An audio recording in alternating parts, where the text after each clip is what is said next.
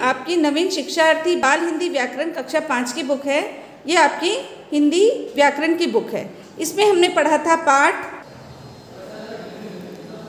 पाठ बीस विराम चिन्ह, है ना? इसको आपने टीएलएम के माध्यम से समझा, आप लोग ने बुक रीडिंग किया, आप लोग को समझ में आ गया होगा। आज हम करेंगे बुक वर्क, पुस्तक कार्य, जो आपके पृष्ठ क्रमांक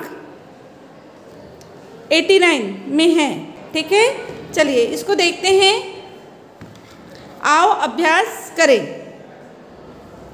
विराम चिन्हों के सामने उनका नाम लिखो। यहाँ पे विराम चिन्ह दिए हैं। इसके सामने हमको उसका नाम लिखना है, ठीक है? चलिए, पहला वाला ये क्या है? विस्मयादि बोधक चिन्ह। ये प्रश्न सूचक चिन्ह। ये कोष्टक। ये अल्प विराम। ये पूर्ण विराम। और ये उद्धरण चिन्ह। ठीक है? चलिए।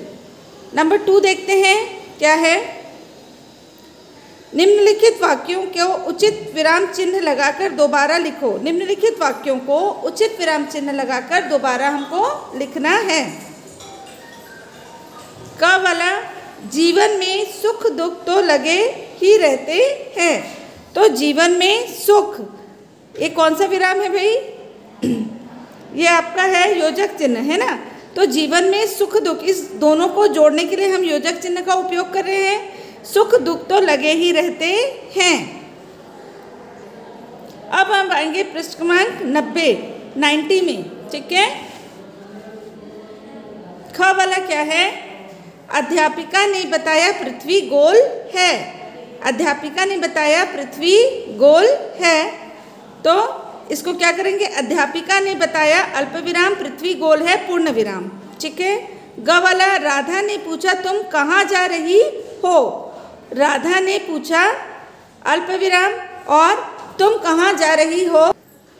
तुम कहाँ जा, जा रही हो? वैसे के वैसे लिखने के लिए हम यहाँ पे उद्धरण चिन्ह लगाए हैं। ठीक है? घ वाला मैं सुबह नाश्ते में दूध अंडा और एक फल लेता हूँ। मैं सुबह नाश्ते में दूध दूध के बाद अल्प विराम अंडा और एक फल लेता हूँ पूर्ण विराम अंगा वाला गंगा, यमुना, ब्रह्मपुत्र, कृष्णा और कावेरी भारत की प्रमुख नदियाँ हैं। गंगा के बाद अल्पविराम, यमुना के बाद अल्पविराम, ब्रह्मपुत्र के बाद अल्पविराम, कृष्णा और कावेरी भारत की प्रमुख नदियाँ हैं पूर्ण विराम ठीक है लास्ट वाला भी देखते हैं। च वाला, वाह! तुम्हारी पोशाक बड़ी सुंदर लग रही है। वह में हम विस्मयादि बोधक लगाए। तुम्हारी पोशाक बहुत सुंदर लग रही है, पूर्ण विराम। तो आपने ये देखा, हमने विराम चिन्ह का उपयोग करके वाक्यों को पूर्ण किया है। आप लोग भी अपनी बुक में बहुत सुंदर हैंडराइटिंग में इसे कंप्लीट करेंगे। ओके।